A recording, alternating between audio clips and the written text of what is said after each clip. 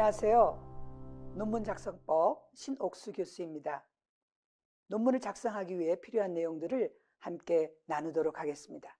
이 강의는 현유한 편저 장로의 신학대학교 표준 논문 작성법 개정판을 기초로 구성되었습니다.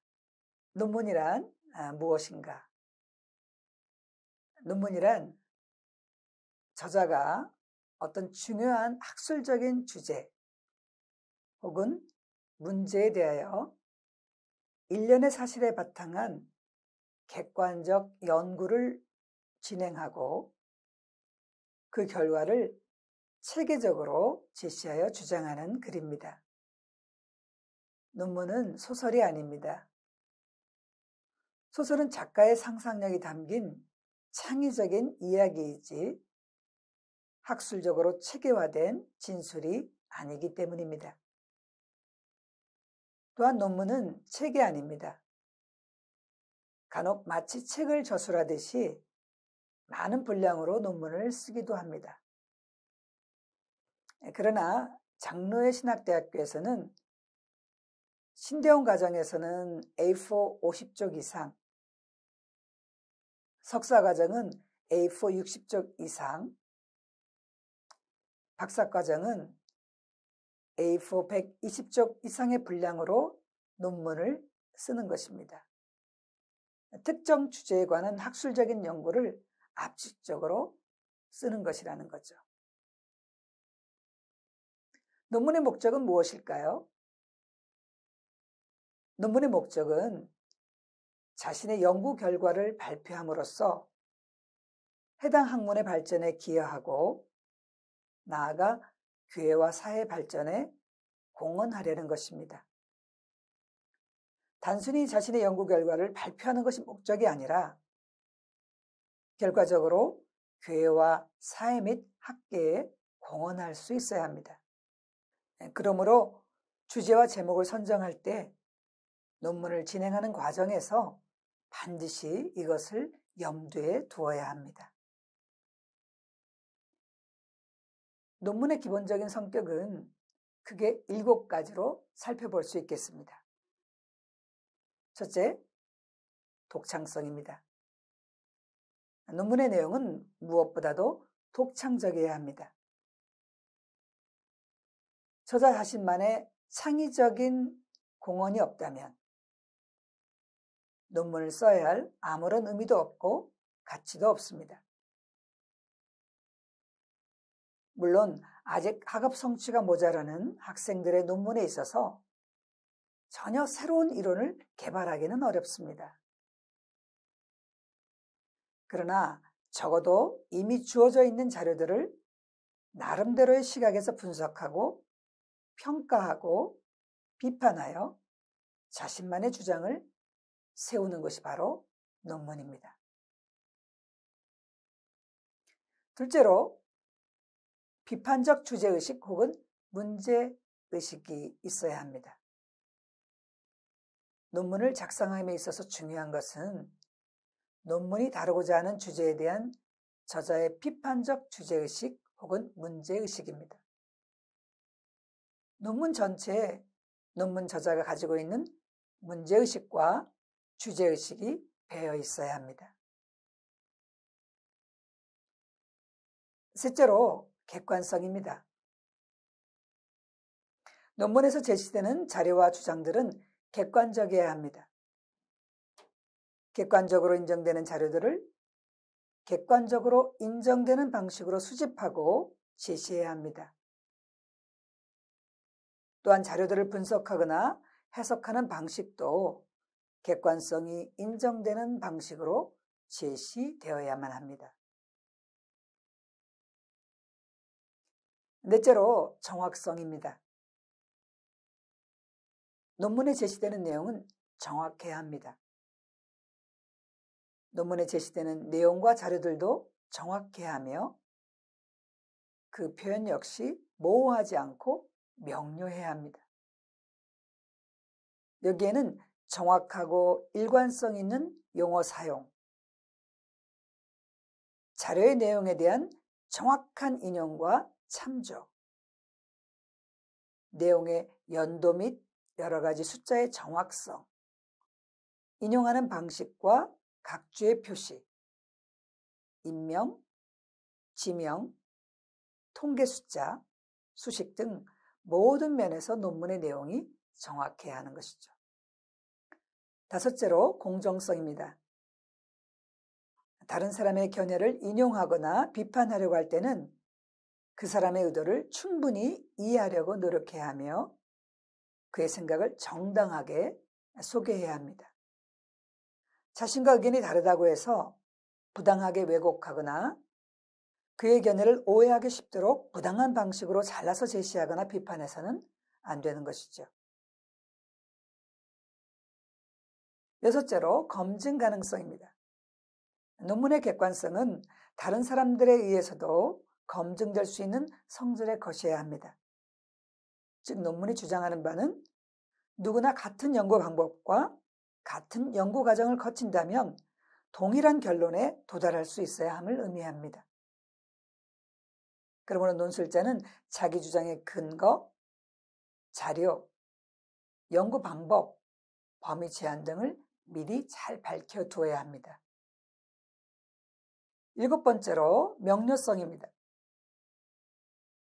논문은 적어도 해당 연구 분야에 대한 기본적인 지식을 가지고 있는 사람이라면 어렵지 않게 이해할 수 있을 정도로 평이하고 명료하게 작성해야 합니다. 논문의 명료성과 평이성을 위해서는 불필요한 반복, 지루한 부연 설명, 지나친 외래어 사용, 난해한 용어의 사용 등을 삼가는 것이 좋습니다. 그리고 다른 사람의 견해, 연구 결과 혹은 자료를 인용할 경우에는 반드시 각주를 사용하여 출처를 밝혀야 합니다. 그러나 이미 상식이 되어버린 내용이라든지 그 분야의 연구자들이라면 굳이 각주를 달지 않아도 다 아는 내용은 굳이 번거로운 각주를 달지 않아도 좋습니다. 논지의 중요성을 살펴보겠습니다. 논지란 논문의 저자가 주장하려고 하는 핵심적인 내용을 가리킵니다. 논문의 논지는 선명하고도 강하게 주장되어야 합니다. 논문에는 자신만의 주장이 담겨야 하는 것이죠. 관련 주제에 대한 사실 정보를 논술자 자신의 관점에서 분석, 평가, 비평, 해석하는 내용이 담긴 것이 바로 논문입니다. 그러므로 논지는 논문 전체를 한 문단, 혹은 한 문장, 혹은 한 페이지로 말할 수 있는 핵심적인 주장 또는 명제입니다. 논문에서 논지는 합리적이고 일관적이며 체계적으로 논증되어야 합니다. 논지가 없는 자료의 나열은 논문이 될 수 없습니다. 실제로 논지가 없거나 불분명하면 연구 자체가 필요하게 됩니다. 방향을 잃어버립니다. 그리고 많은 시간이 소요됩니다. 따라서 논문을 작성하기 전에 가설적으로라도 논지를 세워보아야 합니다. 그것이 논문의 방향 감각을 잡아줍니다. 때로는 논문 작성을 위해 준비한 모든 자료를 다 집어넣어야 한다는 강박 관념에서 벗어나야 합니다. 우리가 많은 책을 읽어도 또 많은 자료를 모아도 그 자료를 다 논문에 집어넣을 수 없습니다. 논지가 바로 세워지면 논지를 뒷받침할 자료들을 선별해서 사용할 수 있습니다. 논지의 관점이 논문의 처음부터 끝까지 의식적으로 스며 있도록 논술자는 노력해야 할 것입니다. 결과적으로 자료의 배열은 논지를 관찰하는 데 도움되도록 배치합니다. 이것이 바로 목차를 구성하는데 큰 도움이 되는 것이죠.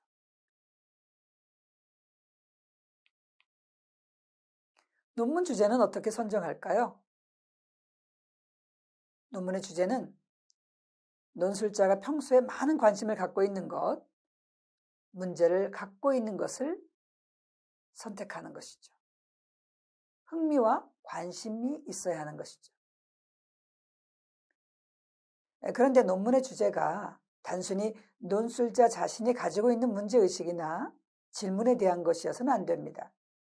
그것은 동시에 관련 학계, 교회, 사회에 공헌할 만한 것이어야 하는 것이죠. 즉, academic contribution, 학, 학문적인 공헌을 할 수 있는 주제여야 하는 것입니다.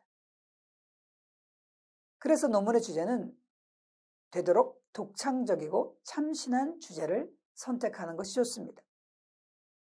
이를 위해서 도움되는 것은 그 주제에 대한 연구의 역사를 살펴보는 것입니다. 논문을 쓰기 전에 주제를 선정하기 전에 선행 연구가 필수적입니다. 또한 논문의 주제는 지적인 흥미를 끄는 것을 선택하는 것이 좋습니다. 그래야 논문을 시작하고 완성하기까지 집중력을 가질 수 있습니다. 또한 논문의 주제는 자료 수집이 용이한 것을 선택하는 것이 좋습니다. 아무리 좋은 주제를 선택했다고 하더라도 막상 논문을 작성하는데 필요한 자료를 충분히 획득할 수 없다면 논문을 완성할 수 없을 것입니다. 그러므로 논술자가 쉽게 접근하고 다룰 수 있는 그런 자료들을 확보하는 것이 매우 중요합니다. 근데 논문의 주제 선정을 위해 책과 자료를 광범위하게 읽을 필요가 있지만 막상 주제 선정은 범위를 매우 좁혀야 합니다. 그래야 초점이 분명해질 수 있고 그래야 논문을 결과적으로 완성할 수 있습니다. 무엇보다 중요한 것은 논문의 주제 선정을 위해서 사전에 지도교수와 반드시 상의하고 도움을 얻어서 결정하는 것이 필요합니다. 그래야 논문의 방향을 바로 잡을 수 있고 또 지도교수의 지속적인 도움을 받을 수 있습니다. 그러므로 논문 작성 중에도 가능한 한 자주 지도교수를 만나고 또 도움을 얻고 방향을 인도받는 것이 매우 중요합니다. 구체적으로 논문 작성법을 알아보겠습니다. 넘어가는 글, 각 장의 머리와 꼬리 부분에는 다음 장 혹은 논문 전체 구조와의 연관관계를 밝히는 말들을 넣어서 논문 전체의 흐름을 부드럽게 할 필요가 있습니다. 또한 문장 표현은 가급적 나라는 1인칭이 아닌 3인칭 표현을 사용하는 것입니다. 아, 부득이하게 우리가 1인칭을 쓸 때에는 우리 혹은 필자라는 표현을 사용합니다. 정확한 재인용 표시가 필요한데 본문에서는 바르티의 주장 인데 각주는 몰트만의 책으로 표기해서는 안 됩니다. 표절로 간주되지 않기 위해서는 바르트의 원문을 추적해서 바르트의 원문의 각주를 표기해야 하고 만약에 그것이 불가능한 경우에는 몰트만의 책이라고 하는 재인용 표시를 하는 것이 필요합니다. 재인용 표시 방법은 표준 논문 작성법 53쪽을 참고하기 바랍니다. 각주와 참고문헌 작성 요령을 말씀드리겠습니다. 각주와 참고문헌의 공통사항은 도서명 표기입니다. 한국 서적의 경우는 이중꺽쇠를 사용합니다. 예를 들면 이종성 조직신학개론 외국 서적의 경우는 italic체를 사용하는데 예를 들어 Paul Tillich Systematic Theology 이런 표기는 본문 안에서도 동일하게 사용되는 것이죠. 즉, 한국 서적은 이중곡세를 사용하고 외국 서적은 이탈릭체를 사용하는 것입니다. 각주의 방법은 시작은 본문과 같이 네 글자 띄고 다섯 글자에서 시작합니다. 즉, 스페이스바를 일곱 번 치고 여덟 번째에서 시작하는 것이죠. 둘째 줄부터는 들여쓰기를 하지 않습니다. 소논문에서는 학위 논문과 다르게 첫 줄 들여쓰기를 하지 않습니다. 인용한 자료의 저자명, 자료 이름, 출판 정보, 쪽수를 모두 쉼표로 구분하는 것이죠. 출판 정보는 괄호 안에 출판 장소, 출판사, 출판 연도 이렇게 작성합니다. 예를 들면 이종성, 콤마 그리스도론 괄호 열고 서울 세미콜론 한국기독교학술원 콤마 2001 괄호 닫고 85쪽 이렇게 표기합니다. 각주 맨 끝에 페이지 표기 방법입니다.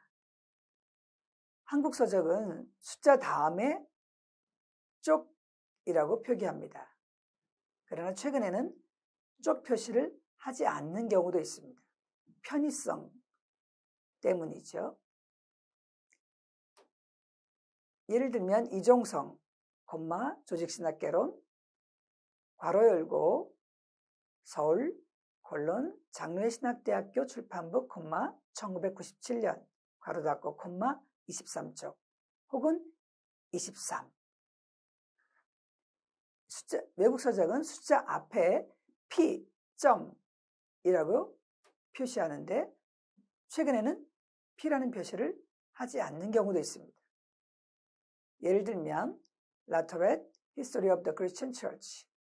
괄호 열고 뉴욕 Harper & Publisher 콤마 1953 괄호 닫고 콤마 34 점 또는 P.34 여러 페이지인 경우는 24에서 28 또는 pp.24, 28 이렇게 표기합니다.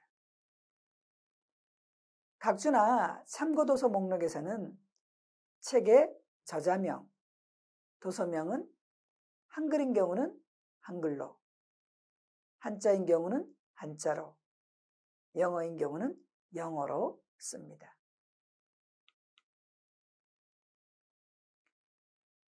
또한 바로 앞에서 인용한 문헌을 다시 인용할 경우 어떻게 할까요? 위의 책으로 표기합니다. 아, 바로 위에 각주 번호의 저자, 도서명, 출판지, 출판사, 출판 연도가 같은 경우에는 위의 책이라고 쓰고 페이지 번호를 씁니다. 예를 들면 위의 책, 45쪽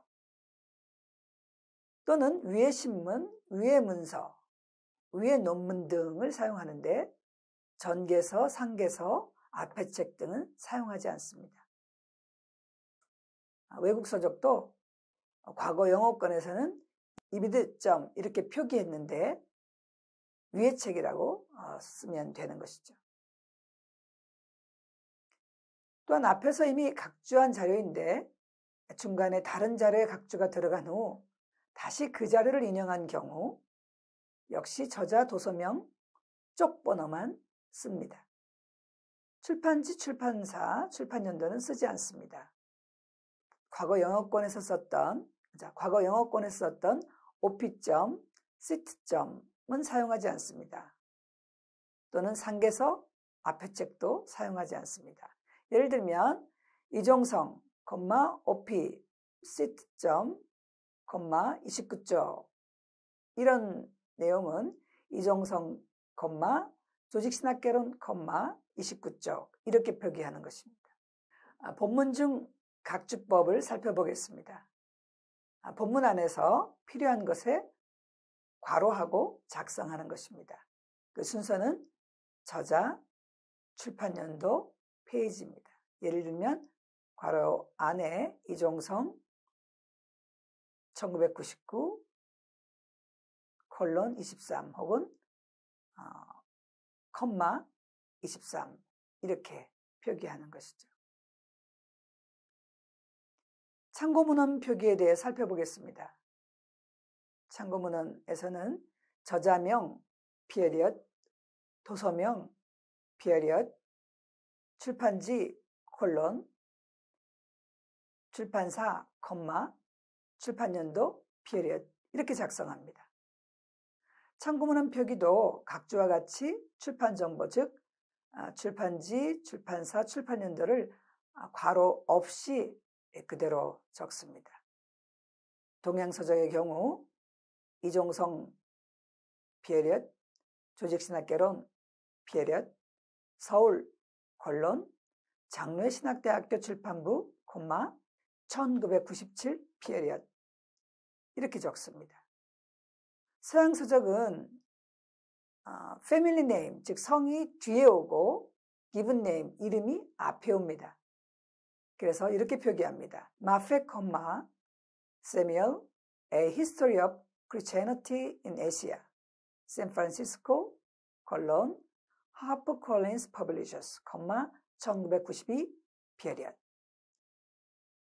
마지막으로 연구 윤리 준수에 대해 살펴보도록 하겠습니다. 첫째, 표절입니다. 표절은 의도적이든 비의도적이든 일반적 지식이 아닌 타인의 아이디어나 저작물을 적절한 출처 표시 없이 자신의 것처럼 부당하게 사용하는 행위를 말합니다. 또 이미 발표되었거나 출판된 타인의 저작물의 전부 또는 일부를 적절한 출처 표시 없이 그대로 사용하거나 다른 형태로 바꾸어 사용한 경우를 가리킵니다. 중복계제는 연구자 자신의 이전 연구 결과와 동일하거나 실질적으로 유사한 학술적 저작물을 처음 게재한 학술지 편집자나 저작물 저작권자 허락 없이 또는 적절한 출처 표시 없이 다른 학술지나 저작물에 사용하는 행위를 말합니다. 여러분들 논문 쓰실 때 연구 윤리 준수가 매우 중요합니다. 그래서 본교 홈페이지에 게시된 아, 본교 연구윤리 규정을 살펴보시고 특별히 표절, 중복교제 등을 하지 않도록 각별히 주의할 수 있기를 바랍니다. 감사합니다.